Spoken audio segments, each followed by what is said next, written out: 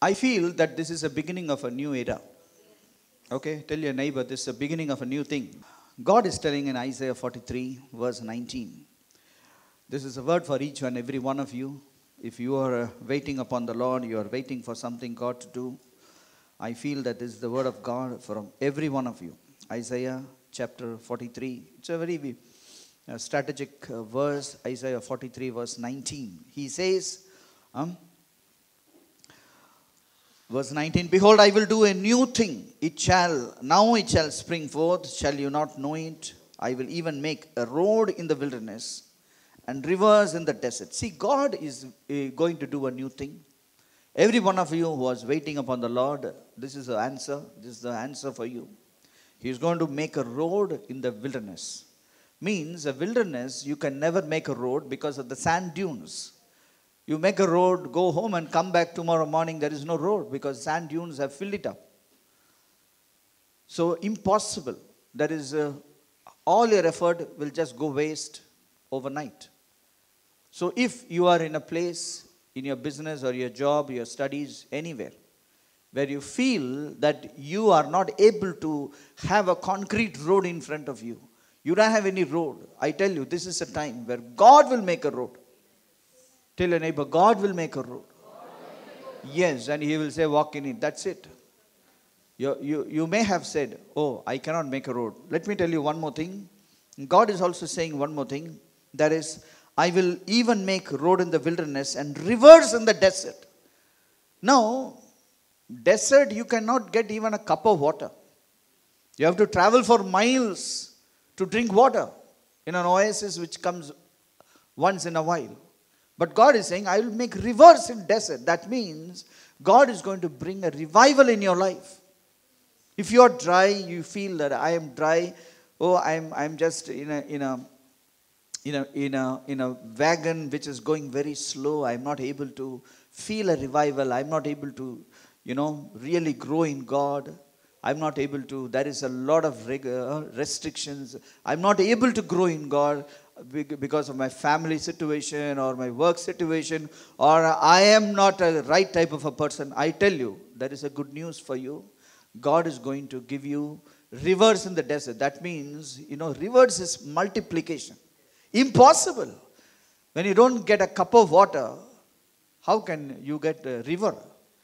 God is going to do that. These are the two things God wants to tell each and every one of you. This is a new season. Uh, God is going to do these two things upon each and every one. Okay, tell your neighbor, you will have a road in the wilderness.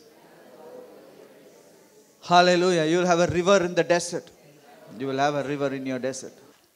When God is going to do new things in your life, you need to provoke the new beginnings in your life. I'll tell you something. Huh? You need to cooperate with God. You need to do something which will provoke that new beginning to begin in your life. Many times, you know, your new season comes and goes and just don't, it doesn't touch us. It doesn't touch us. There is revival all over, but I am cold. Everybody is shouting, but I am quiet. I don't know. Let me tell you one thing. There is certain things which you have to do to provoke that new beginning in your life. Today, I, my, my message is how to provoke God's new beginning into our lives. Tell your neighbor, today something new is going to happen in your life. All the new beginnings starts with a new birth. That is only two two things which God created when it comes to human being in the, in the Bible. Okay? First is God created Adam. He is a new creation. There was no, there was no man before Adam. New creation. The second person God created is you. Tell your neighbor, you are the second Adam. Yes, he created newly. You are newly created. Okay, let's read. Second Corinthians chapter 5 verse 17. Second Corinthians chapter 5 verse 17. If anyone is in Christ, he is a new creation.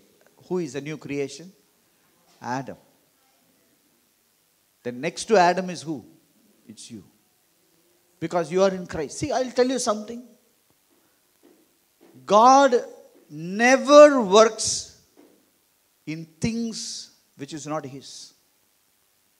The entire Bible, all the promises are yes and amen, only to the righteous, not for everyone. Bible is not, the, the words of God is not for all, it's for the righteous. Tell your neighbor, I am righteous. I walk in these promises. I am a new creation. Hallelujah. All provisions of the scriptures is for the righteous. Not for the unrighteous. It's for the righteous. You are a new creation. God will make things new in you. If He can make you into a new creation, He can make anything inside of you. Only you need to tune with Him, you need to work with Him. Okay? Let us read some more things about this new creation. You know, first of all, you should know what you should be doing. Let's turn to uh, um, Ephesians chapter 4, verse 17. Ephesians 4, verse uh, 17 onwards. Let us read some things about this new creation. What is this new creation? Many of us, we don't know what is new creation. We actually don't understand the new creation. We don't know the value of new creation.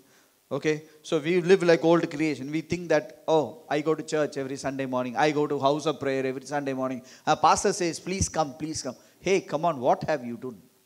You should know who you are and where you have come. You should know it is. What is new creation? What is accepting Jesus Christ? When you say, Jesus, come into my heart, something forms in you. You should know this. What is formed in you? Now, Shama ma'am said, when Bittu accepted Christ, he said, Ah, what happened in him? It's not a good feeling. It is not a good vibration. This is how people of the world may interpret a spiritual thing which happened. It's not a good vibration. It is not a good thing which happened. It is not something that goes out. No, we should know what happened. We have been a new creation. Something is created in us, something is connected in us. Uh, verse 17 I say, therefore, and testify in the Lord that you should no longer walk as the rest of the Gentiles walk in the futility of their mind. You should know that we are futile in our mind. If you, have, you and I, we are using our mind so much, we should be understanding that it is a futility of the Bible says it's a futility of the mind. Huh? Verse 18 having their understanding darkened, being alienated from the life of God because of the ignorance that is in them, because of the blindness of their heart. See, I'll tell you something. When a man doesn't know who, the love of Jesus Christ, it's very hard to crack him, to talk to him anything. You just talk about him, about giving, he will not accept. You talk about, about tithes, he won't accept. He talks about holiness, he won't accept. He won't accept anything. First of all, we should know, we can know. If somebody says you should be holy, you will say, Yes, we should be holy. We should give. We should give. You can easily be sensitive to what God is saying. An unbeliever or a guy who is not a new creation cannot understand these things. He will say, Why should I do that? When I don't have money, why should I do it? He's saying, verse 19, who being past, past feeling, had given themselves over to lewdness, to work of uncleanness with greediness. But you are not so learned Christ. It's very easy to be lewd. It is very easy to be unclean. Verse 21. If indeed you have heard him um, and have been taught by him, as the truth is in Jesus, that you put off concerning your former conduct, the old man which grows corrupt according to the deceitful lusts. See, there is an old man who is also growing. Don't give him food. You grow the new man. Verse 23 Be renewed in the spirit of your mind, that you put on the new man which was created according to God, in the order of God. You are who is God in this world? It is you. You are created in the order of God, in the order of God. That's why, you know, you don't say nothing, this is impossible. That I tell you, with the Spirit, everything is possible. In the natural dimension, everything is not possible. Can I jump there? No, it is not possible. That's why, you know, people jump here and there only on the screen. In the day to day life, when they jump like that, they may injure themselves. But in spirit, there is no difference, there is no distance. You can go anywhere. You can walk anywhere. They come like wind, they can go. Your spirit is like a wind. It says, you know, you put on the new man, which was created in the order of God Himself, in true righteousness and true holiness. People will have, uh, we will have true righteousness and true holiness. This is our new birth. This is new birth. And this new birth is not, uh, let us read one more verse. Galatians chapter 6. Galatians chapter 6, verse 15. Let us read this. For in Christ Jesus, neither circumcision nor uncircumcision avails anything but a new creation. So, what is a new creation? A new creation doesn't come to us based on circumcision and uncircumcision. It is created in our heart. That's what the Bible says. When new thing, new thing has to begin in our life, we cannot do the same old thing and expect some new things to happen. It won't happen. You have to change certain things, certain dynamics which happens in your life so that you actually provoke it to come into your life. Why should I allow it to pass through me without touching me? I will not allow it. If, if some blessing is coming upon the kingdom of God, upon the house of prayer, I have to walk in it. So you have to tune yourself so that you just catch hold of these things. When used to be, when we used to be young, there was an antenna which we used to have. It's called Yagi antenna. Yagi antenna looks like a comb, you know. Have you seen that antennas? Yes. You have to, that antenna should exactly point the uh, radio station or a TV station. For example, in Madurai, the TV station was in Kodaikanal. So it was in one direction. So all the Yagi antennas of Madurai, our city, will point towards Kodaikanal. Why? Because if it points anywhere, we only get dot dots, you know. We won't get any picture. But the moment we turn the Yagi antenna, nowadays uh, I don't think we use Yagi antennas, we use dish antennas that work in a different principle. So Yagi antenna, it has to always, that rod, the center rod should point towards the TV station. So in those days, TV station used to be on top of the mountains so that it can cater to all the surrounding areas. Nowadays, we don't have any of such things. All things are different because they shoot to the satellite, the highest point. From there, it caters to half the earth. I'll tell you something. Today, in our spiritual life, we need to turn your antennas to, the, to God correctly. We need to fine tune ourselves to catch more of Him. One day, I was, when I was a young boy, I always thought, why should I praise God? Will God get more happy when I praise Him? You know, some people, when you praise them, they will give you a lot of gifts. यीशु से आए आदमी बहुत अच्छा है। कितना चाहिए तुमको? He will give you everything so I had some feeling like that why God is like that वो भी ऐसा है।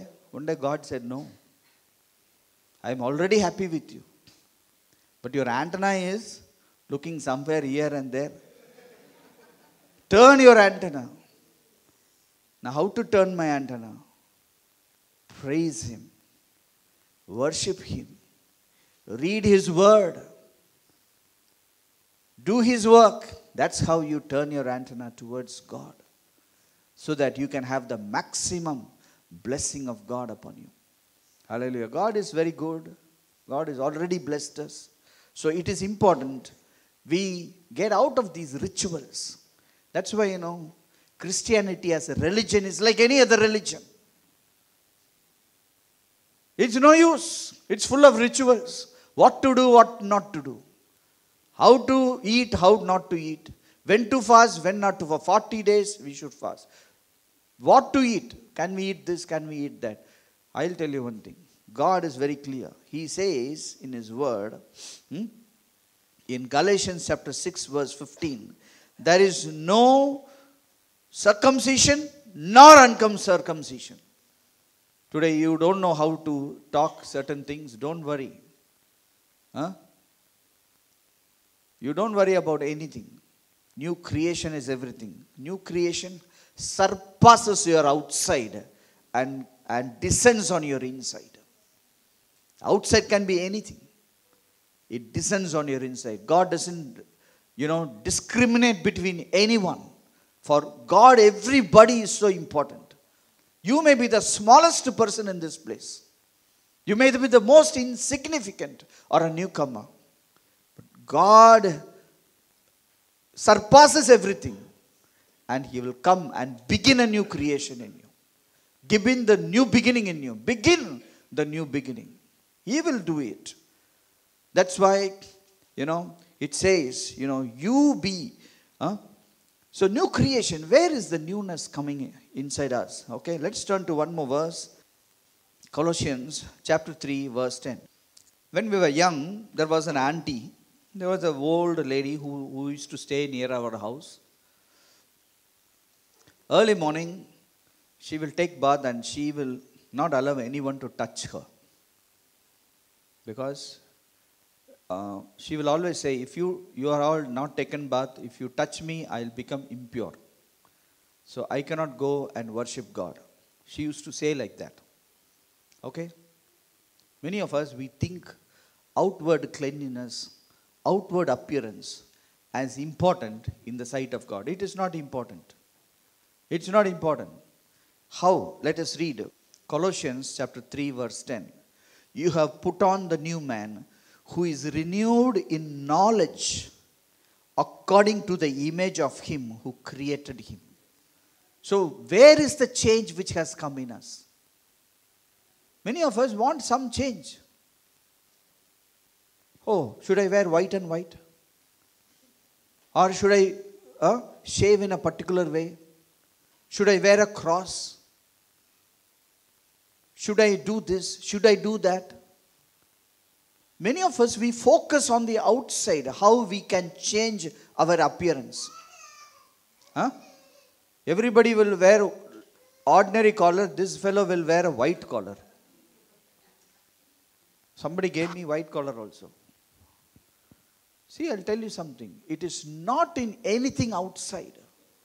Your new man is in your knowledge. You renewed in your knowledge. That is new man. Uh, we need to walk in renewal of knowledge. Your knowledge need to be renewed every day. Every day you need to know something of God. That's what it says. Put on the new man who is renewed in knowledge according to the image of him who is created in him. I think somebody is not excited about what I am talking about. I will tell you what you will like. God is going to bring a new beginning in your finance. Have you seen? Everybody. Ah. कितना खुश I know it. I know it. Because when I was talking about new beginning, new beginning, spiritual, you thought, hey, kya spiritual? Hey, money is the most spiritual thing. Ah, money is the, I'll tell you something. Money is the most spiritual thing. Understand this. That's why there is so much confusion in money. Sex is the next most spiritual thing. That's why so much confusion is there. Third most spiritual thing is power. That's why I wrote a book, Money, Sex, Power. Really. Nobody knows how to handle power. Nobody knows. They, they just cross a power very fast without knowing. Go to any office. They don't, they don't, they cross the power. They will talk against the boss. Finished. You will never prosper. No matter who your boss is. That's why, you know, these three things are very important. Why Solomon wrote three things, three topics on for the young people? He wrote three books. One book is for youth, One book is for the old, one book is for the lovers. Three book he wrote. Huh? Very important. So I termed the book of Proverbs as money, sex, and power because this is a very, very important thing. Money is a very spiritual thing. When I say God is going to bring a new beginning, I am telling you God is going to bring a new beginning in your finance. Okay? Tell your neighbor, God is going to change the way you live. New friends mean, huh? new beginning means new beginning in your finance. God wants to bring a new beginning in your finance. I'll tell you one thing. If you really want to have more finance in your life, to be blessed in financial area, the only thing you need to do is you need to give away what you are holding on.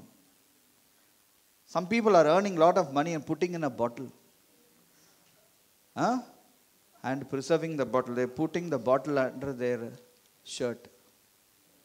Very careful. I'll tell you something. The more you are hugging your finance, you are telling God, Thank you, God. Huh? Enough, God. I'll tell you, you are not, be, if you really believe in the new, new beginning in your finance, you should release what you are holding on to. Don't be emotional about it. You just pray about it. Discuss if you're married, discuss with your wife. You release what you have to release. Many of us, because we have not released, we have not gone into the next level of our finance. Your finance is given to you to bless somebody. You need to release it. God is going to bring a new beginning in your finance. Huh? All new beginning starts with new birth. It just goes huh, into your finance. Your new birth will also bring a new uh, new beginning. Sometimes I, people ask me, Pastor, how to bring a new beginning? I'll tell you something. How to bring a new, how to usher a new beginning. Bible says, a newborn babe, a newborn baby, what it does, a newborn baby all the time is drinking milk. If you are a father or a mother, you, you will know it firsthand. 24 hours it is just drinking milk. Now, for a child of God, for, for a new creation, the only alternative is the Word of God. Let's turn to 1 Peter chapter 2, verse 2. We have to devour, eat the Word. As a newborn baby drinks milk, as newborn babies desire the pure milk of the Word that you may grow thereby. to usher the new beginning in my life, I need to take my Bible. I need to read it. Like how your, your baby drinks milk. That is how we, we usher the new beginning. That's how we grow. That's how we cooperate with God. As you read the Bible, as you read the Word of God, it is not an ordinary book. It's not an ordinary book. Sooner or later, it will talk to you. Sooner or later, it will give you the solution of your life. For example, I'll tell you something. There were times in my life, I don't know what to do. I just don't know what to do. What to do with my life, what to do with my family, what to do with this issue, what to do with this problem. I don't know.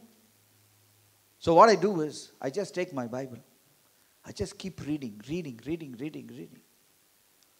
I don't, I forget my problem. Then I started to become absorbed in the Word of God. As I am absorbed in the Word of God, suddenly God gives me an answer. Some word just pops out and just pronounces my answer in front of me. I say, This is the Word. That's how many of my impossible situations have been made into possibilities. It just jumps out of the Bible and you say, Hey, here is the answer. Here is the answer. That is how God talks to you. Many of us, we don't, we, we, we want the new, new life. We want the new creation. We want the new beginning. How to, how to start a new beginning? Every new beginning begins with a revelation. With, with the knowledge, with a word, with an information. Every new beginning, you are fed up of your life, you need a new beginning. And God wants to bring a new beginning. You have to provoke the new beginning to begin in your life. It always starts. One day God told Abraham, You'll get out of this place. How old was he? He was 75 years old.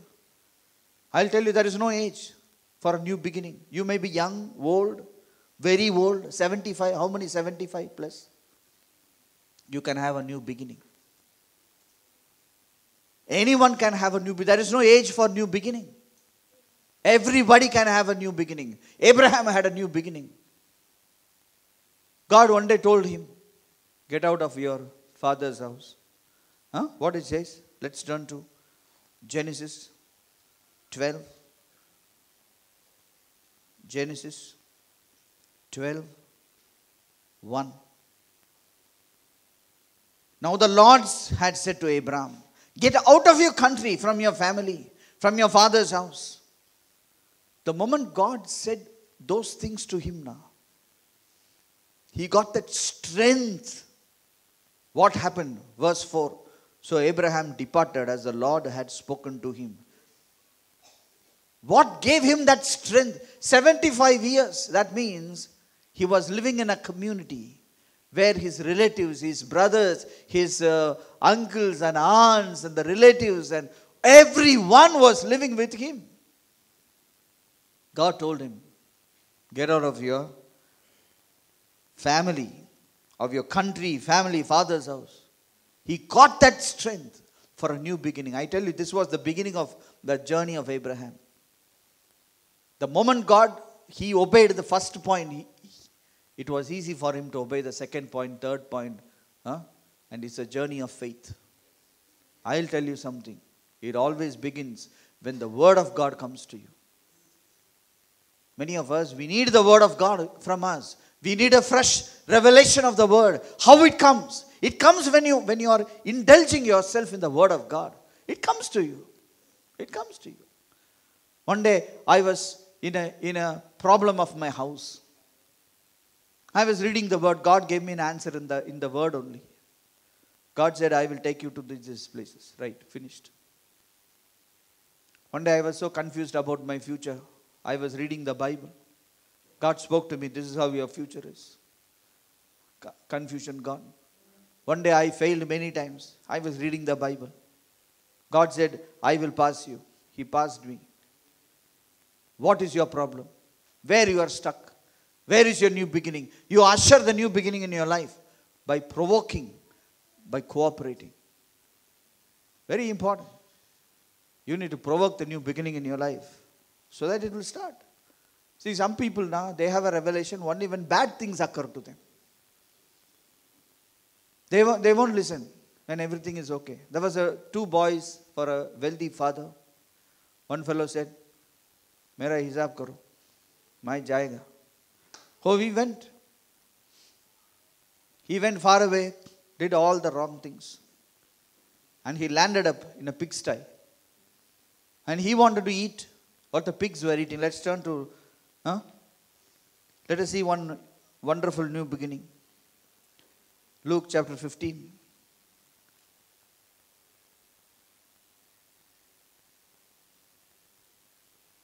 Fifteen. This boy went and joined himself to a citizen of that country.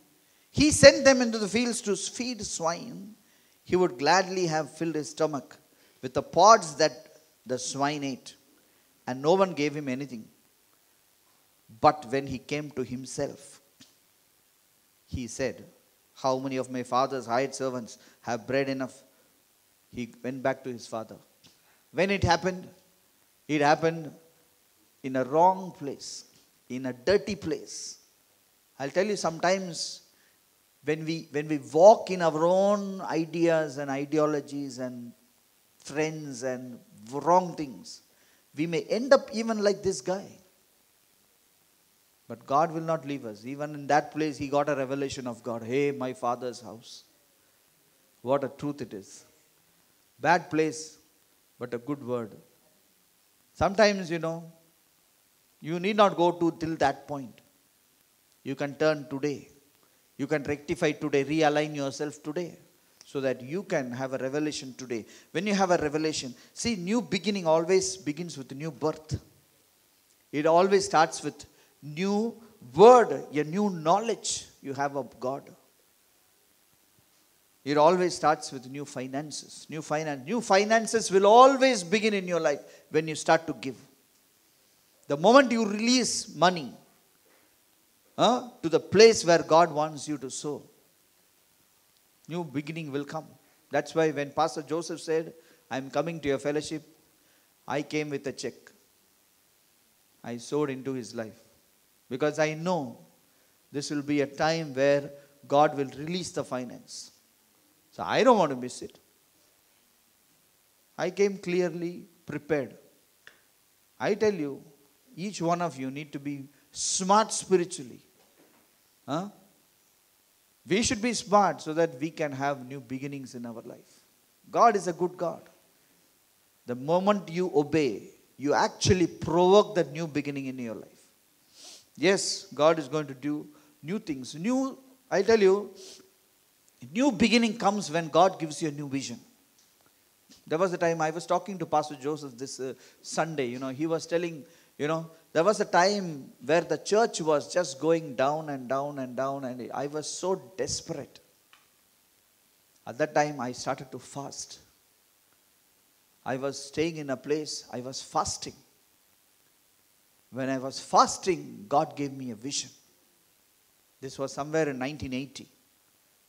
God told certain things to me.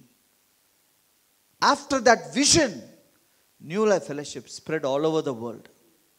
Till then, it was just one church, somewhere in South Bombay. After God spoke to me in those days, it became an international movement. Today, New Life Fellowship churches in many countries. It started because of a vision. A new beginning always starts with a word of God or a word of a, a vision. A vision. That's why I'll tell you sometimes you need, you need to change your friendship. Many times the ruin of us is having people, you know, in our wagon who will never allow you to. ओ आगे भी नहीं उड़ेगा पीछे मरने के लिए भी छोड़ेगा नहीं ऐसा लोग बहुत लोग हैं